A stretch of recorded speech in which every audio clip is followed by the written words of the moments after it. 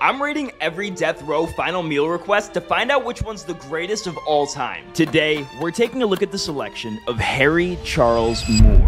In 1992, Moore shot and killed his mother and father in law when they tried to interfere with his marriage between he and his niece. He claimed that he killed them out of fear that the couple would take his wife and daughter to Las Vegas and expose them to a life of prostitution and drugs. However, for these murders, Moore was sentenced to death by lethal injection. Because he wanted to get this process over with as quickly as possible, he not only petitioned against his automatic appeal, but he also threatened to sue anyone who tried stopping the execution. For his final meal, Moore requested two green apples, two red red apples, a tray of fresh fruit, and two 2-liter bottles of Coca-Cola. In my opinion, fruit tends to be a pretty slept-on pick when it comes to last meals, but this was a little bit overboard. I'm placing this meal in C tier.